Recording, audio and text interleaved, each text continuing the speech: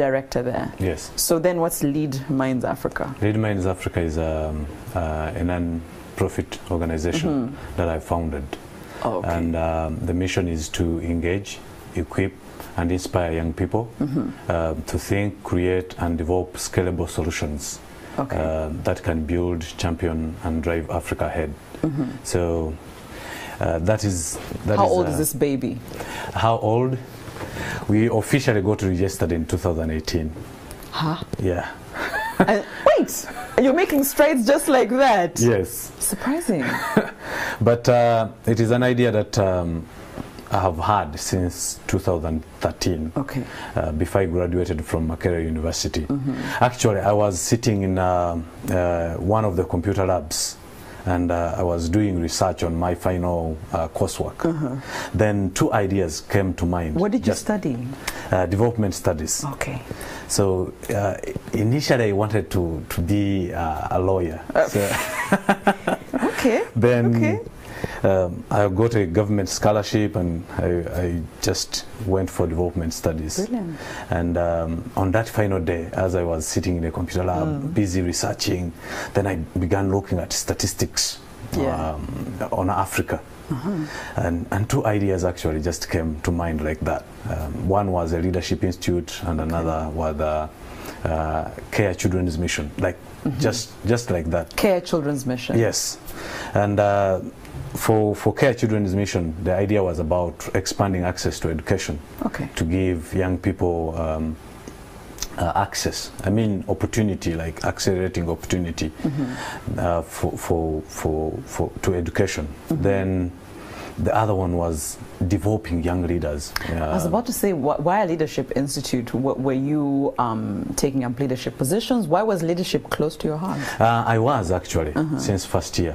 Uh, at Makerere. When I reached Makerere, I just got uh, involved in student leadership and to worked out that Good. since I mean from from first year to third year I was a student leader, and uh, but Africa continued to speak to me. Um, I have I have I have two worlds that speak to me. Okay. I have the inner world and the outside world. So what I'm passionate about Yeah. and like what I read and what uh, I listen to and how it connects to what I believe in. So I continue to listen to that. Then what I see happening around around around me, uh, both beginning from family, uh, then of course the people I interact with, Yeah. then the wider uh, scope uh, of Africa. So I continue to listen to that, and uh, I wanted to step forward, and um, I'm glad I did. And present Um, yourself. Yes. Let me ask you, since you wanted to do a leadership um, institute, Mm-hmm. I've always wondered, especially with our politics and our leaders, and we Mm-hmm. complain about the quality of our leaders. Yeah.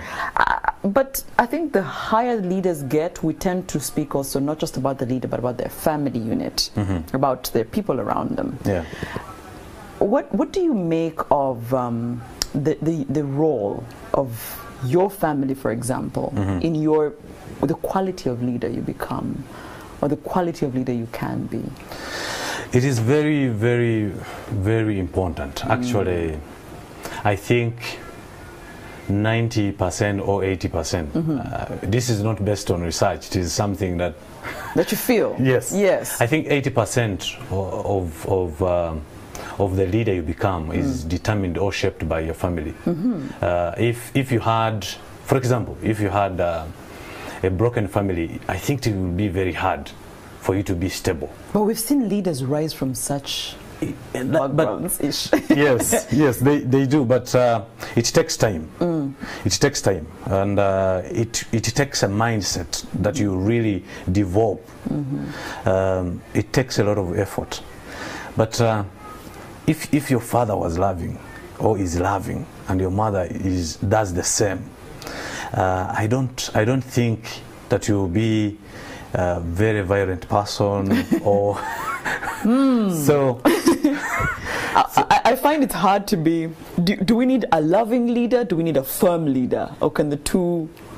Exist together? Both. They can? Yes, I think I think one informs the other. Okay. Or one gives birth to the other. Okay. If you are if you are loving, Yeah. then you are going to to develop love, I mean values that mm-hmm. are actually going to make you like a firm person mm-hmm. in positions of leadership.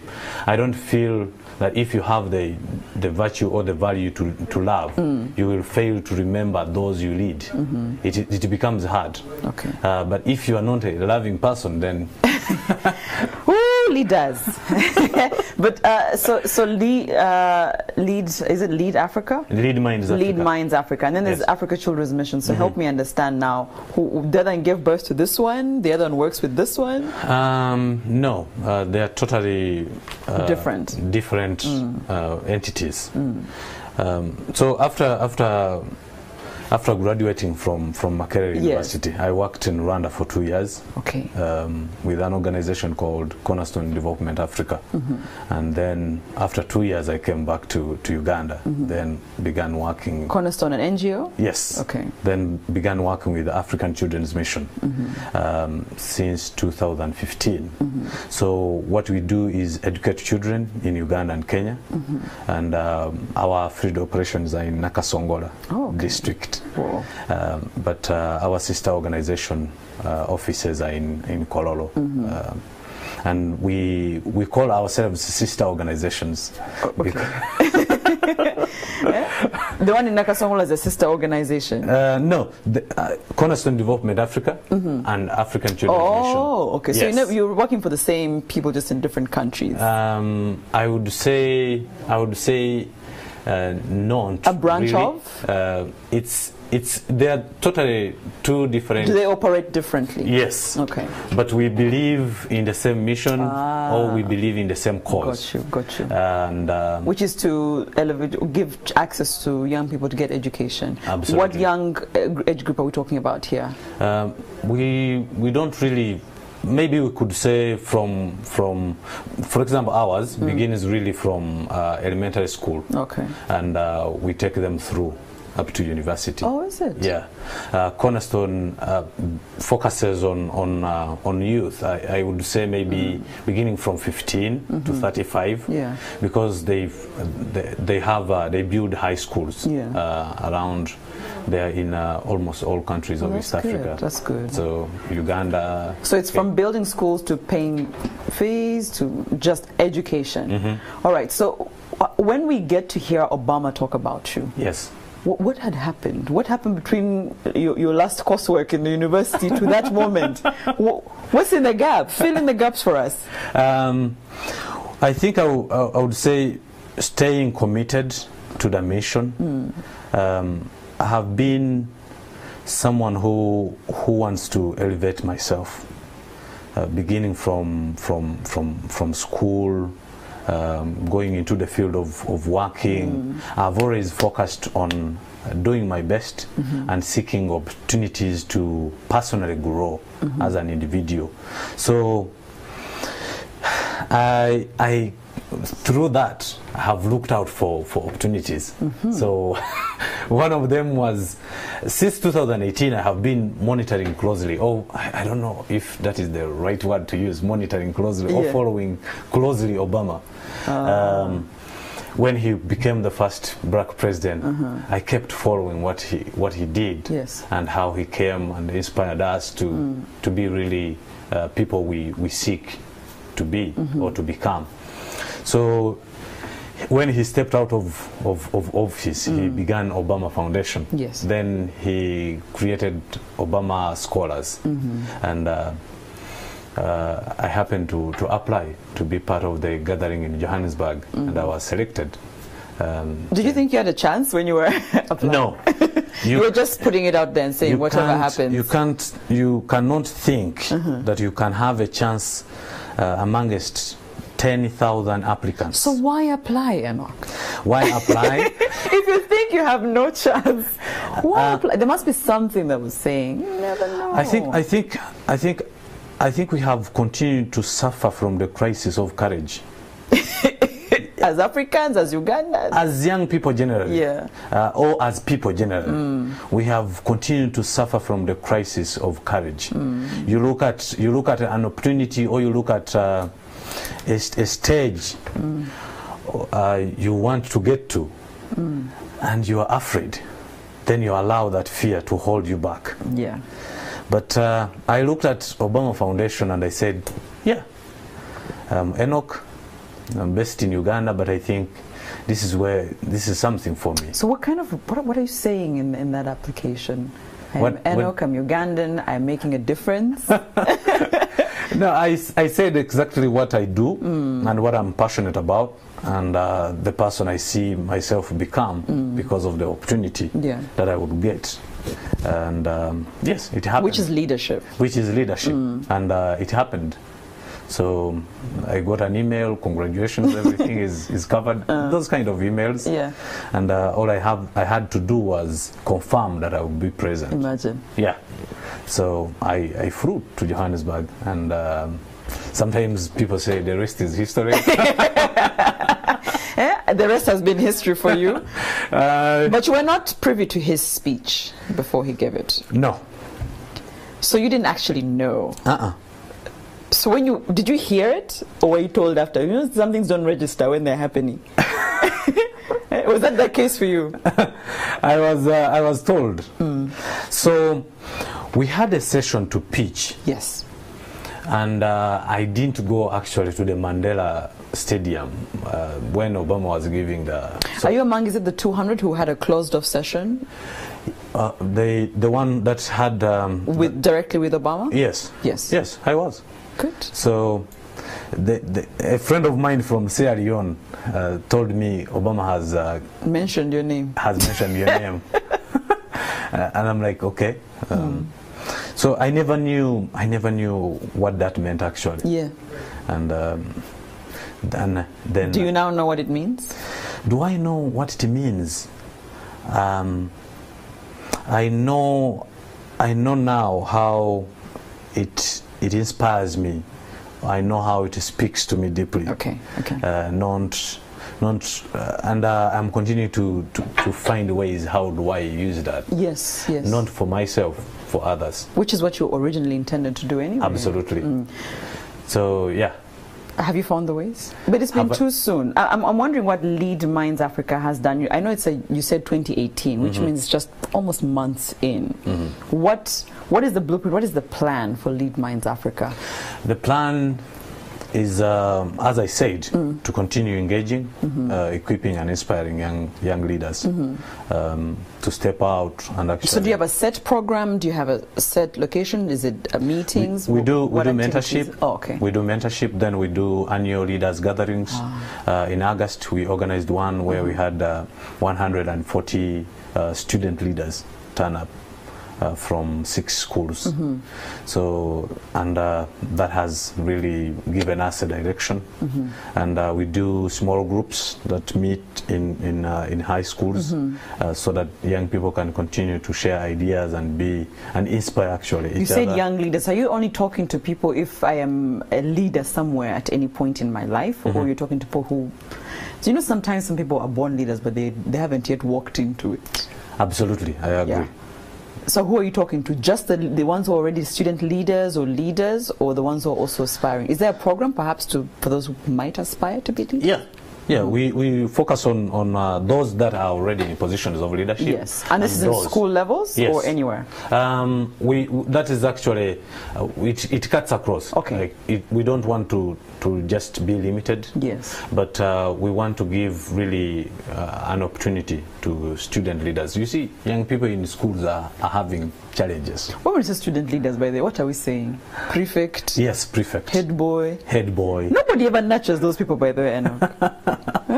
especially actually in rural schools.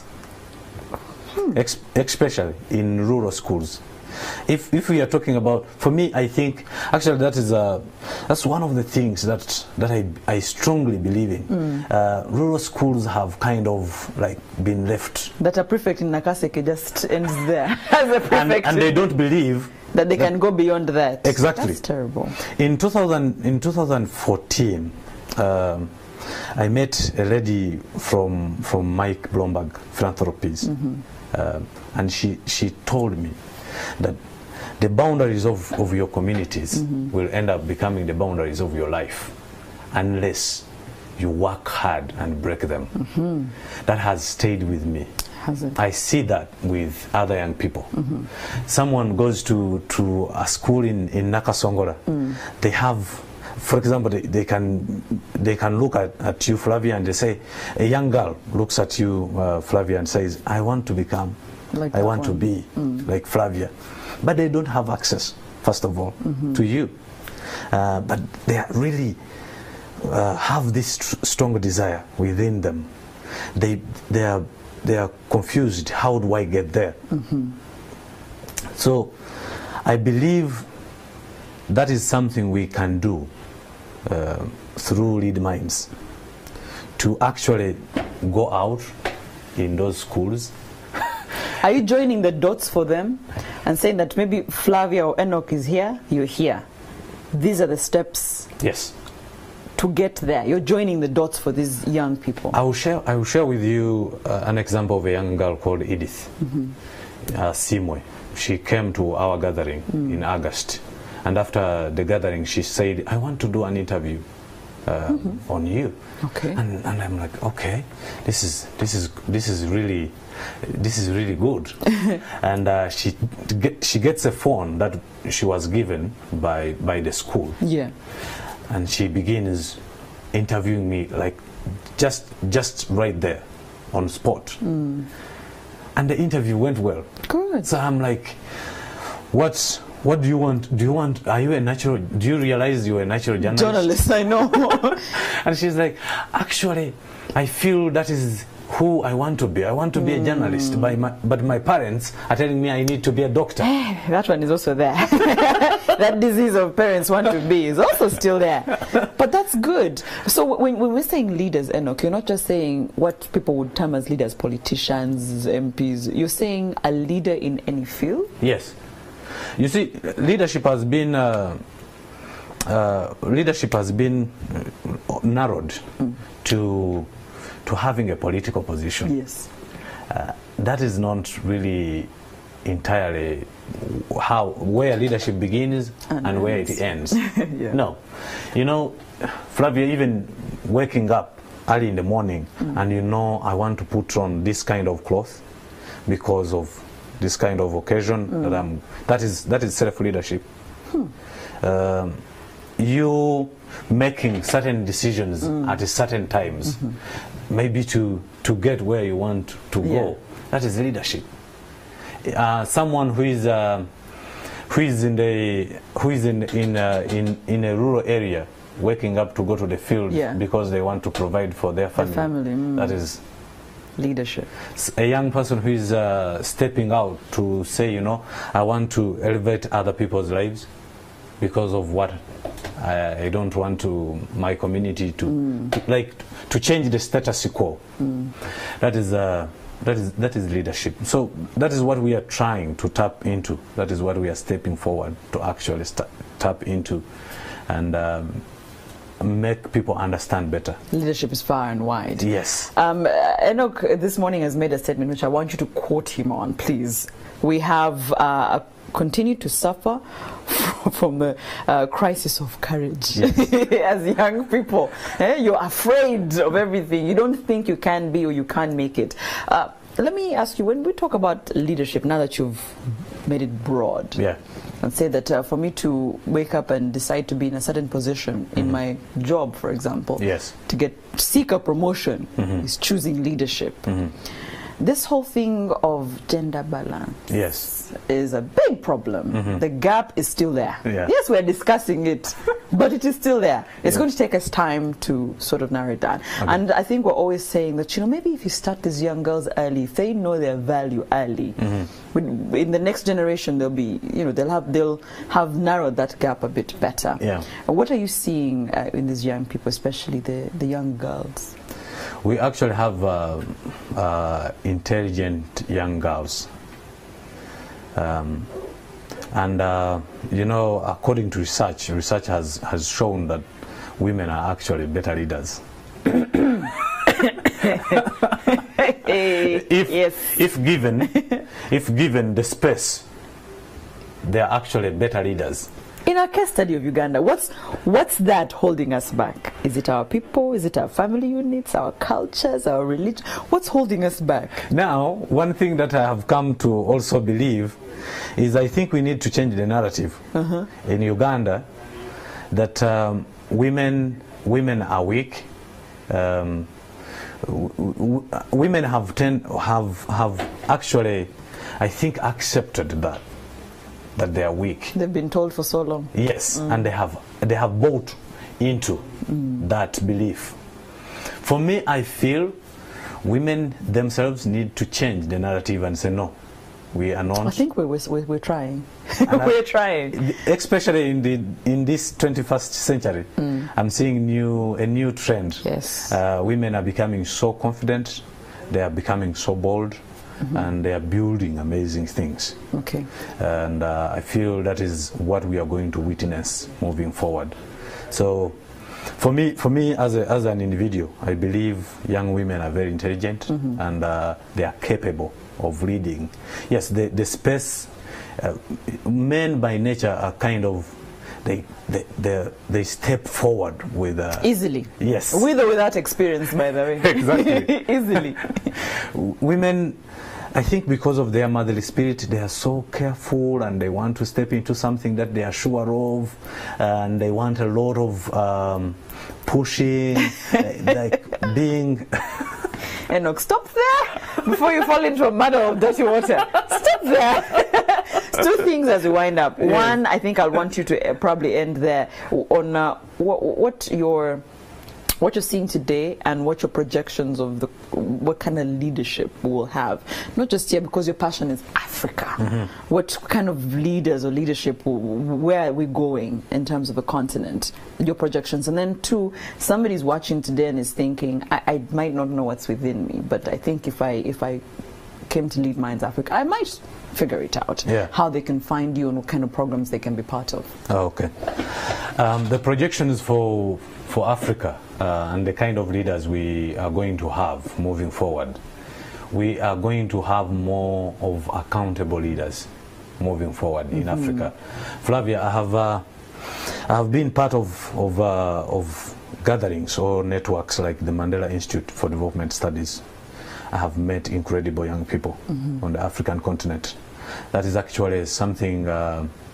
I think most of the things, the image you have portrayed about Africa is we are in crisis. Mm. we need help. Yes, we need help. They through through the networks I have been part of, the Mandela Institute for Development Studies and the Obama Foundation, and other gatherings. Mm. Um, I've met incredibly talented young people, mm-hmm. and I believe Africa is safe. good I believe Africa is safe moving forward. Um, the, the more uh, the space, actually, for me, I believe, I believe strongly that the more young people are prevented or stopped from becoming the leaders they want, the more we are going to see better leaders come up. okay Yeah, I actually strongly it's believe grinding that. harder Yeah. they're trying harder For my feel, uh, for my feel, the more they narrow that gap or the space for The better. leadership, the better. okay Uh, young people, that that builds the zeal Hmm. uh, in young people to actually break. And, It's a good perspective on this. It's a good one. The more you prevent the young people to become leaders, Actually, the more you block the space. actually, for me, that is that is what I strongly believe. Okay. I think I think if if if if young people like when you you, you are in a society Hmm. where everyone is given an opportunity, sometimes It's comfortable. yes, Mm, but when when situations or conditions become harder, Yes. I think for me the more we are going to get better leaders. Okay. That's Yeah. one way to look at it. Lack of opportunities is inspiration. That's one way to look at it, honestly. Absolutely. Yes. Absolutely. So for me, I'm one person who strongly believe Africa moving forward is uh, going to be safer, is going to get better leaders, Okay. is going to be uh, many young people or even leaders actually who are in positions of leadership are strongly uh, stepping out and saying, you know, we need to put a stop to corruption. We need to end this. Uh, uh, the bad leadership that we have witnessed on the continent since independence. Okay. So, so Don't let a young person talk politics. We might spend the night here. eh? But for young leaders who are watching or Yes. potential leaders, how do they find uh, Lead Minds Africa? how do how do you find us? Um, we you actually, uh, I, as I said, you can come to to Cornerstone, um, Plotty 37, uh, Kololo, or you can reach out to. We are on Twitter. Of course. Lead Minds. You cannot be get telling Empo to lead and you're not in the new wave of social media. we are on Twitter Yeah. uh, at Lead Minds. Okay. Then Facebook, of course, Lead Minds Africa, and uh, you can reach out uh, to, To you. Yes. Yeah. Uh, you can also be part of uh, our annual gatherings, Yeah. uh, our mentorship. So there was one in. August. Yes. When is the next? Uh, when is the next? We are planning to have another one on the 23rd or the 24th of August next year. Next year. Okay. So there's enough time to reach out and Absolutely. plan. Absolutely. Okay. Um, yeah. Fantastic. Thank you so much. And hopefully those leaders that they're grinding, uh, you're one of them. eh? Are you thinking of politics someday? Um, politics, um, I don't know, Mm. but maybe. When the waters keep, eh, calm down. Uh? You're waiting for when things are. I, I really, I really, Flavia, I don't, I don't think I need um, a political office. So yours, you want to train good leaders, not to become. Yes, You want that's your leadership. That's your because of leading. because uh, for me, I strongly believe that change cannot happen where it is already happening. It can happen actually maybe at a minimum. Mm-hmm. Uh, I feel change has to happen in places where it has not yet happened or it is happening at a small scale. That's why you're looking. So I yes. okay, that is uh, Enock uh, Nkulanga from Lead Minds Africa. They're on Twitter, they're on Facebook. Find them. Uh, they're nurturing our next leaders Yeah. in any field. When we say leaders, it's not just politics. Yes. Yeah. So you might want to make a difference in whatever organization or industry you're in. They're the people to look at. We said young leaders, so eh, let the next generation step up. Thank you, Enock, for your time. You're welcome, Flavia. Thank you. That's it for Take Notes. You're watching Morning at NTV.